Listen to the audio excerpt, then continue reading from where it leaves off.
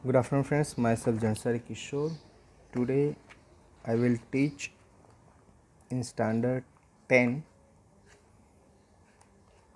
10 में जो English subject है उसकी जो पेपर स्टाइल है जो 80 मार्क की जो 12 तारीख से आपकी 12 अक्टूबर से जो एग्ज़ाम हो रही है उसमें जो आपको 80 मार्क का पेपर आएगा तो उसकी पेपर स्टाइल बता देता हूँ तो सबसे पहले आपको एक पैराग्राफ में से एम सी क्यूज आएँगे वो फोर मार्क के रहेंगे उसके बाद टेक्सुअल आपको इस तरह से पैराग्राफ आएगा जिसके अंदर ब्लैंक होगी, ऊपर इसके ऑप्शन होगी you to put the proper option in a proper place उसके बाद क्वेश्चन आंसर है आपके। वो आपको टेक्सुअल क्वेश्चन आंसर आएँगे। वो एट मार्क के होंगे।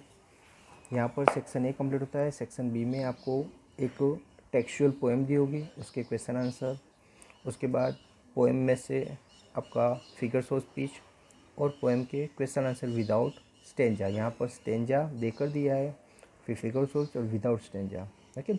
उसके बाद नेक्स्ट जो है, वो आपका सप्लीमेंट्री जो बुक है, वो सप्लीमेंट्री बुक के आपको जो क्वेश्चन आंसर है, वो आएँगे।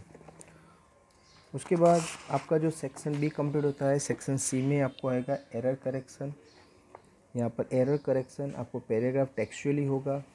उसके बाद जो नेक्स्ट क्वेश्चन है, वो आपका punctuation articles conjunction okay sorry article conjunction और प्रपोजिशन की ब्लैंक आएगी वो भी आपको टेक्सुअल होगी, ऊपर आपको ऑप्शन दे दिए होंगे, यानी आपको उसमें से सिलेक्ट करके यहाँ रखना है। उसके बाद पंक्चुएशन है, उसके बाद डायरेक्ट इनडायरेक्ट है, उसके बाद डू एस डायरेक्टेड आएँगे, यहाँ पर सेक्शन सी आपका कंप्लीट होता है। सेक्शन डी में आपको अनसीन कोई पैसेज आएगा, उसमें से आपका क्वेश्चन आंसर आएगा। उसके बाद अनसीन पोइट्री आएगी, उसमें से क्वेश्चन आंसर आएगा।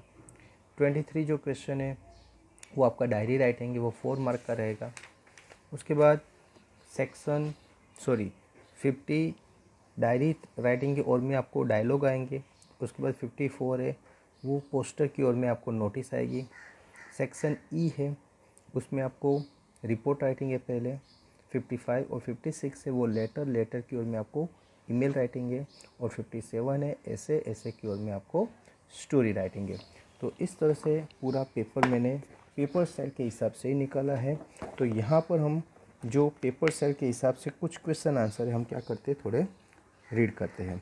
जैसे यहाँ पर ये यह हमारा चैप्टर है, जिसमें क्वेश्चन आंसर है कि where did the ceremony take place can you name any public building in India that are made a sandstone तो इस तरह से क्वेश्चन आएगा, उसके आंसर है।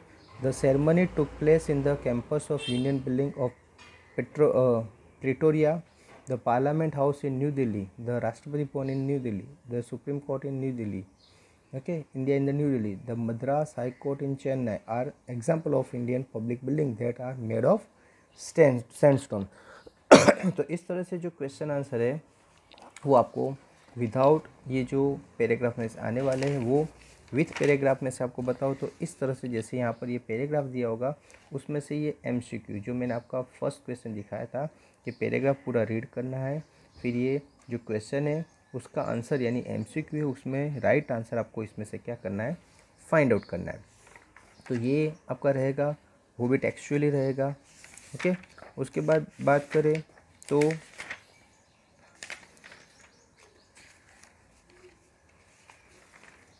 आपका जो ग्रामेटिकल आता है, जैसे कि एरर करेक्शन है तो जैसे ये एरर करेक्शन तो इस तरह से एरर करेक्शन आएगा, जिसमें आपको इस तरह से लाइन दी यू भी टेक्सचुअल होगा।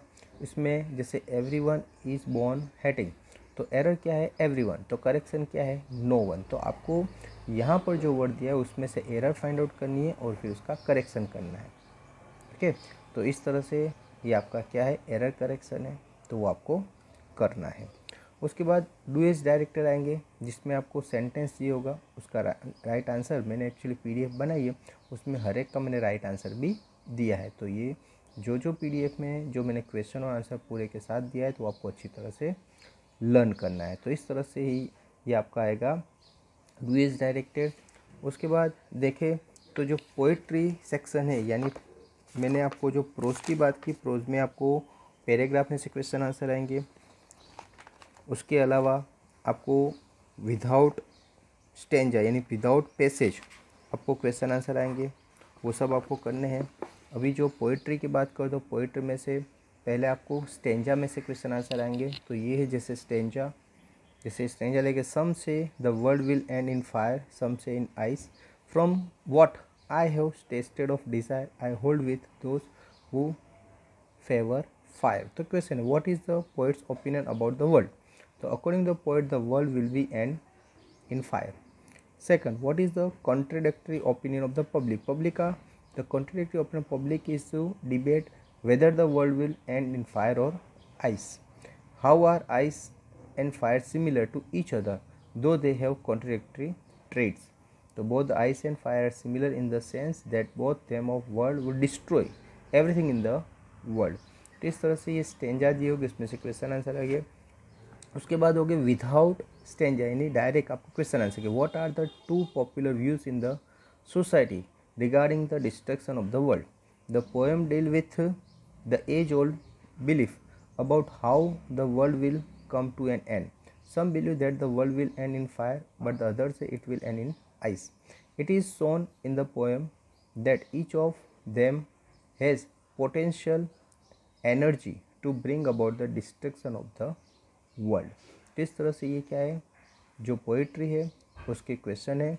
अभी इसमें से फिगर्स ऑफ़ स्पीच आएगी। जैसे फिगर्स ऑफ़ स्पीच है कि some say the world will end in fire some say in ice तो ये जो है, उसमें A repetition B metaphor C antithesis और डी में दिया ए और बी तो ये जो आंसर है ए और बी दोनों है, यानी रिपीटेशन एंड मेटाफोर इस तरह से आपको एमसीक्यू भी आएँगे। ओके तो ये एमसीक्यू जो ग्रामेटिकल पॉइंट मैंने वो भी समझा दिए। अभी अभी जो आपका सप्लीमेंट्री है तो सप्लीमेंट्री में से आपको क्वेश्चन आंसर आएँगे। तो जैसे ये सप्लीमेंट्री लेसन है कि फोर्थ पिन विदाउट फिट का फिफ्थ चैप्टर है तो how did invisible man first become visible To Griffin, the scientist had carried out the experiment and become the invisible. However, he happened to step in some mud and left footprint as he walked, which were observed by two boys who followed them, fascinated, until the muddy impression became fainter and fainter and finally disappeared altogether. Since it was midwinter, he slipped into the big London store for warmth. There he fitted himself out with warm clothes soon with shoes, an overcoat, and wide brimmed hat he became a fully dressed and visible person. He settled down to sleep on a pile or quilt and in his way was visible to the assistant at the store the next morning. Okay friends, तो इस तरह से यहाँ पर ये जो question answer है वो आपको सप्लीमेंट्री लेसन में से आएँगे उसके बाद जो आपका नेक्स्ट जो टॉपिक है जैसे सेक्शन डी में आता है कि भाई अनसिन पेसेज, ये अनसिन जैसे पेसेज दिया है। अनसिन पैसेज में से आपको क्वेश्चन आंसर आएगा। यानी बाहर का टेक्स्ट नहीं होगा, बाहर का कोई पैराग्राफ है, जैसे बाहर का कोई पैराग्राफ है, अनसिन है। अनसिन पैसेज है, ये पैराग्राफ होगा, इस तरह से इसमें क्वेश्चन आंसर होगा, चार। तो इस तरह से मैंने आपको पीडीएफ में पूरा आंसर के साथ दे दिया है। उसके बाद, प्रोज के बाद पोइट्री पोइट्री में सेम थिंग है। कि भाई पोइट्री में आपको पोइट्री लाइन्स दी होगी, यानी स्टेंजा दिया होगा, उसमें से क्वेश्चन और आंसर इस तरह से ये अनसीन है। तो ये भी मैंने आपको पीडीएफ में दी है। जो पीडीएफ में दी है, वो अच्छी तरह से लर्न कर देना। उसके बाद जितने भी, जैसे कि डायरी राइटिंग है तो ये जैसे डायरी है तो डायरी भी दी है। डायरी की ओर में डायरी जो है डायरी के ओर में मैंने आपको बोला कि डायरी की ओर में क्या आएगा? डायलॉग तो इस तरह से ये जो डायलॉग के जो एग्ज़ाम्पल हैं, वो भी मैंने उसमें दिए हैं, जो आपको दिया है पीडीएफ में, आप वही अच्छी तरह से लर्न करोगे तो डेफिनेटली आप अच्छी तरह से पेपर लिख पाओगे। उसके बाद एडवर्टाइजमेंट एडवर्टाइजमेंट का मीनिंग होता है दूसरा होता है पोस्टर ओके तो पोस्टर दिया है, जैसे इस तरह से पोस्टर है ओके ये पोस्टर आपको बनाना आएँगे पोस्टर की ओर में आपको नोटिस रखनी आएगी। तो ये जो है नोटिस है। यह है नोटिस कि जैसे किसी को नोटिस आपको लिखनी है तो नोटिस का भी पूरा फॉर्मेट दिया है। उससे पहले भी मैंने नोटिस आपको अच्छी तरह से समझाया है। तो नोटिस आएगी। उसके बाद है रिपोर्ट राइटिंग तो ये जो रिपोर्ट है रिपोर्ट भी आपको दिए है। रिपोर्ट उसकी और में कुछ नहीं है। रिपोर्ट कंपलसरी है। उसके बाद लेटर राइटिंग है। जो लेटर राइटिंग है, जो लेटर के और में, जिसे लेटर का फॉर्मेट है ओके फॉर्मल लेटर का फॉर्मेट है। लेटर दिया है। लेटर की ओर में आपको ईमेल आता है। तो लेटर की ओर में जो ईमेल है ओके तो ये जैसे ईमेल का फॉर्मेट है तो लेटर और ईमेल वो आपको करना है। और उसके भी एग्जांपल मैंने यहाँ पर दिए हैं। उसके बाद जो है क्वेश्चन वो है आपका कॉम्पो ओके यानी ऐसे राइटिंग ओके तो ऐसे राइटिंग में जैसे यहाँ पर मैंने आपको दो तीन ऐसे उसमें दिए हैं, वो आपको लर्न करना है। बस इसी में से आपका पेपर आने वाला आई होप कि आपको ये जो रिवीजन मैंने जो किया है, वो अच्छी तरह से पता चल गया होगा। Okay friends so best of luck and thank you very much to listen me carefully